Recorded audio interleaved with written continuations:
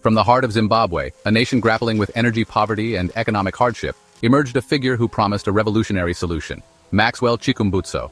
Not a seasoned engineer from a prestigious university, but a self-taught inventor with a bold vision.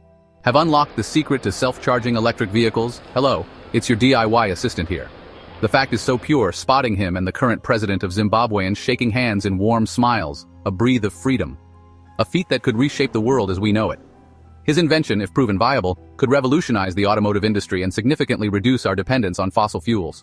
Chikumbutso's journey began with a simple yet ambitious goal, to create a future free from the shackles of fossil fuels and the limitations of traditional electric cars. He envisioned a world where clean, renewable energy was accessible to all, he toiled away in his workshop, driven by an unwavering belief in his abilities and the potential of his inventions to uplift his nation and revolutionize the world. His dedication and perseverance were evident in every prototype he created and every challenge he overcame. His story, a blend of ambition, innovation and controversy, captured the imagination of many, while others met his claims with skepticism. Critics questioned the feasibility of his technology and the practicality of his ideas. Could this unassuming inventor from a small African nation truly be on the cusp of a technological breakthrough that had eluded the best minds and well-funded laboratories around the world? The implications of his success would be far-reaching, potentially transforming industries and economies. The world watched with bated breath, curious and cautious, eager to witness whether Chikumbutso's vision would become a reality or fade into the annals of unfulfilled promises. The stakes were high, and the journey was fraught with challenges. His story was a powerful reminder that innovation can spring from the most unexpected places, challenging established norms and pushing the boundaries of possibility. It is a testament to the power of human ingenuity and the relentless pursuit of a better future. At the heart of Chikumbutso's invention was a claim that seemed to defy conventional scientific understanding, the ability to generate energy from kinetic energy and electromagnetic resonance. This groundbreaking concept promised to revolutionize how we think about energy generation and consumption. He asserted that his electric vehicle, dubbed the Saith FEV, could capture energy from its own motion and the surrounding environment, effectively charging itself on the go. This meant that the vehicle could theoretically drive indefinitely without needing to stop for a recharge. Imagine, he urged the world, a car that never needed to be plugged in, its battery perpetually replenished by harnessing the very forces it traversed. This vision painted a future where energy was abundant and effortlessly accessible. No more range anxiety, no more dependence on charging stations, no more contributing to the environmental burden of battery production and disposal. The implications for sustainability were profound. Chikumbutso's technology, if true, promised to rewrite the rules of energy consumption. The scientific community, however, met these claims with a mixture of curiosity and skepticism. Many experts were intrigued but cautious. The laws of thermodynamics, considered fundamental principles governing energy, seemed to contradict the possibility of a perpetual motion machine, which is essentially what Chikumbutso appeared to be proposing. The idea of a self-sustaining vehicle was both revolutionary and controversial. Experts argued that while energy harvesting from sources like motion and radio waves was possible, these methods typically yielded very small amounts of power, nowhere near enough to sustain a vehicle. The challenge was to scale up this technology to meet the demands of a fully operational electric car. Beyond the immediate benefits to individual drivers, Chikumbutso envisioned his technology transforming entire communities. He believed his self-charging system could be scaled up to power homes and businesses, liberating people from their dependence on traditional power grids. This was particularly significant for Zimbabwe, a nation plagued by frequent power outages and limited access to electricity. Chikumbutso's dream resonated deeply with those who had long endured the challenges of unreliable energy infrastructure. He offered the tantalizing possibility of a decentralized, democratized energy future, where every home could become its own power plant, drawing energy from the environment and fueling a brighter future for all. This vision of energy independence extended beyond Zimbabwe's borders. Developing nations, often struggling with limited resources and infrastructure, saw in Chikumbutso's invention a potential solution to their energy woes. He offered them not just a technological fix, but a path towards self-sufficiency and a brighter future. The automotive industry too found itself at a crossroads. Established automakers, heavily invested in internal combustion engine technology, faced the prospect of a radical disruption of their business model. Chikumbutso's self-charging EV, if genuine, could render their existing investments obsolete, forcing them to adapt or risk being left behind in a rapidly changing market. Imagine, Chikumbutso challenged a world free from the grip of oil cartels, where energy independence translated into political and economic power for nations that had long been at the mercy of energy giants. His vision struck a chord with those who saw in his invention a chance to break free from the shackles of a fossil fuel-dependent world. The potential implications of Chikumbutso's claims extended far beyond the borders of Zimbabwe, sending ripples of concern through boardrooms of some of the world's most powerful industries. The $7 trillion oil and gas sector, built on the extraction and combustion of fossil fuels, faced an existential threat from a technology that could render gasoline and diesel obsolete. Section 5. Whispers and Doubts. As Chikumbutso's profile grew, so too did the scrutiny surrounding his claims. Scientists and engineers around the world, bound by the laws of physics and years of established research, raised concerns about the feasibility of his self-charging technology. They pointed to the lack of peer-reviewed studies, independent verification, and the absence of a working prototype that could be rigorously tested. The scientific community, while open to groundbreaking discoveries, operates on a foundation of evidence and reproducibility. Chikumbutso's refusal to fully disclose the technical details of his inventions, citing intellectual property concerns, further fueled skepticism. He countered that he had faced attempts to steal his technology in the past, and his reluctance to share his secrets stemmed from a desire to protect his inventions and ensure they benefited his people. Despite the lack of scientific validation, Chikumbutso's supporters, many of whom had witnessed his demonstrations firsthand, remained steadfast in their belief. They argued that his inventions were not hoaxes, but genuine breakthroughs that threatened the status quo, leading to a concerted effort to discredit and silence him. What if the next big breakthrough in energy didn't come from a Silicon Valley lab, but from a workshop in Zimbabwe, Africa? Imagine a car that never needs charging, unlike Tesla or internal combustion engine cars powered by fuel. These new cars and a racing motorbike are being powered by something called microsonic energy. This is the reality of Zimbabwe-born inventor Maxwell Chikumbutso, a 44-year-old man and a high school dropout. The, the, the, the vehicle it uses what we call the microsonic energy device. Microsonic energy device, it is the, the device that I personally invented in 2009, which harness radio frequencies, converted it into energy. As you know, radio frequencies, they are measured in nanovolts, meaning to say they are less than a volt, they are just like nothing. But we find a way of harnessing it through the, the, the creation of the 70% of the components in the microsonic energy, which I tailor-made to have designed.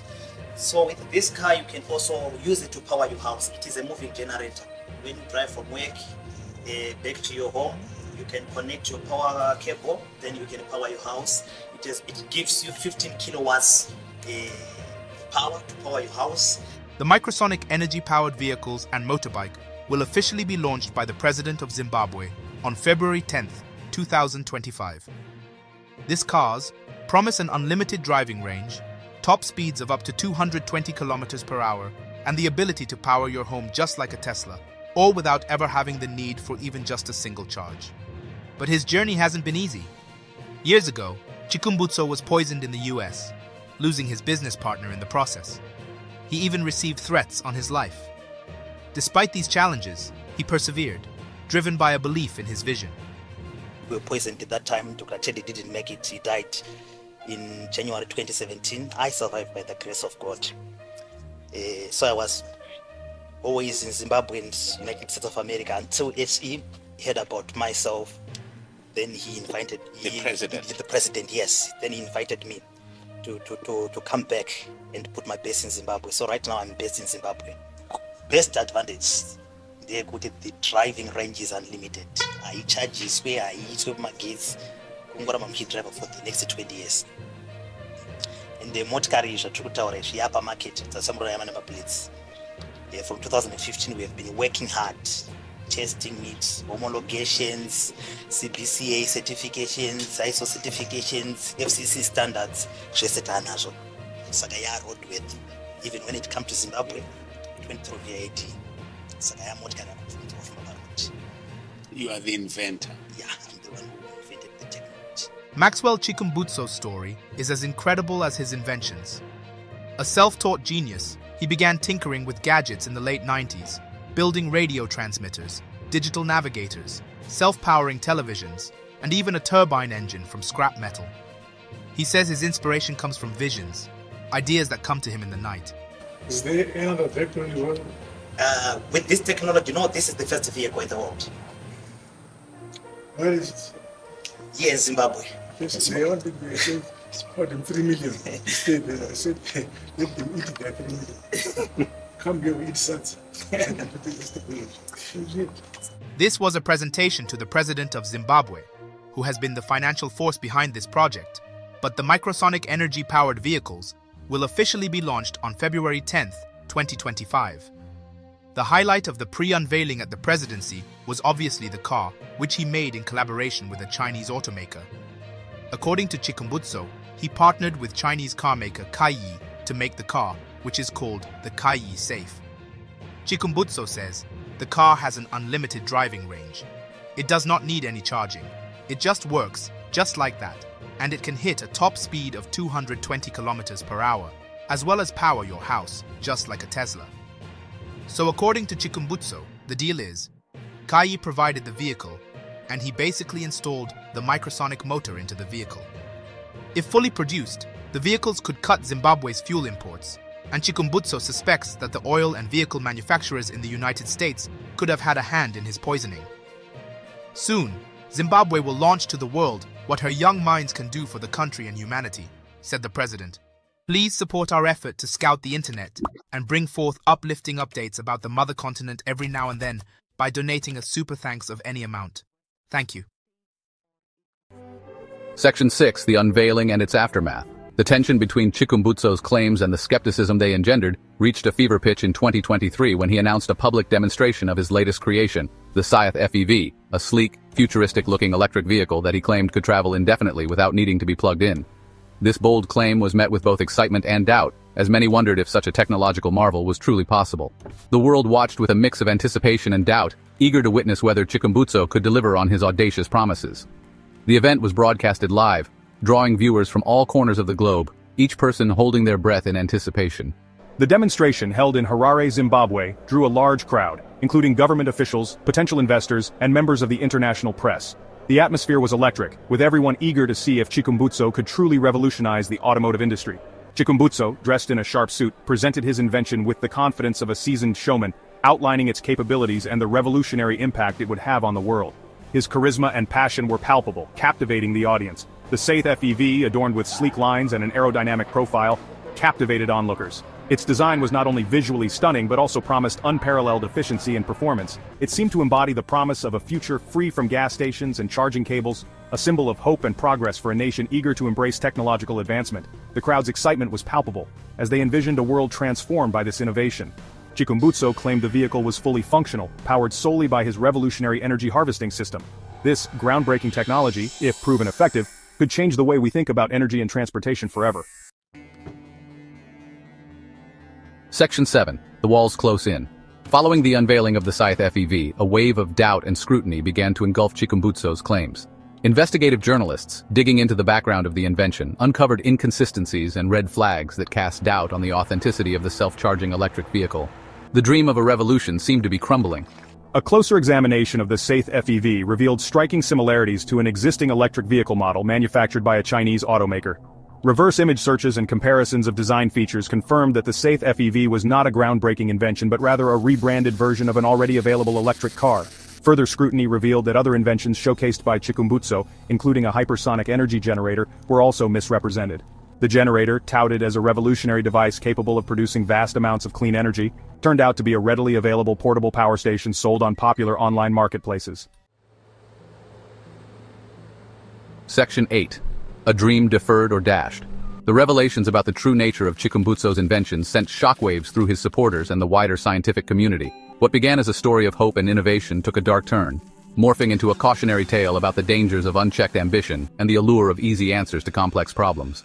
In the wake of these revelations, Zimbabwean authorities launched an investigation into Chikumbutso's dealings, leading to the seizure of his lab and equipment. He faced accusations of fraud, deception, and misappropriation of funds. The once celebrated inventor found himself at the center of a scandal, his reputation tarnished, his legacy in ruins. The story of Maxwell Chikumbutso serves as a stark reminder of the importance of critical thinking, scientific rigor, and independent verification. While his claims initially captivated the imagination, they ultimately unraveled under scrutiny, exposing the fragility of narratives built on hype and the human capacity for self-deception. At this junction, we can see through the proxy of reality, a guy from Africa for Africa who outsmarted not just Elon Musk, but Western cooperation. Financially, protect this man at all cost Africans. The real gold sets to crash the global market for your affordability and sustainability is Here, a hero Africa will forever be proud of. Don't forget to like this video and share this video with your friends and family who dreams of freedom from cooperation to self. I remain your brother from Africa DIY Assistance. Let me know what you think in the comments section. Thanks for watching.